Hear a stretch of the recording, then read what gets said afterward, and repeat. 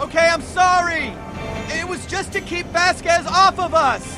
Like I said, I would never betray you, bro. Do you forgive me?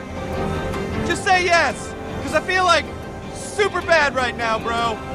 Even though I wasn't gonna go through with it. Not even worried about it, bro. Man, I'm so relieved to hear you say that, bro. I knew you'd never betray me, bro. Never, bro. Never.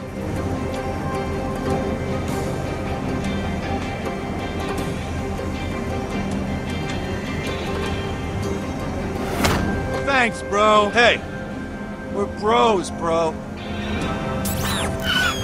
On you. Told you to have him evacuate.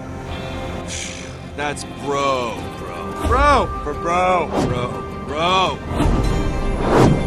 bro, bro, bro, bro, bro, bro, bro, bro, bro, bro, bro. Bro, bro, bro, bro, bro, Um, bro, we bro, don't bro, talk like bro, that. bro, bro, bro, bros, bro, bro, bro, bro, bro, bro, bro, bro, Are you bro, done? bro, bro, bro, bro, bro. Unbelievable.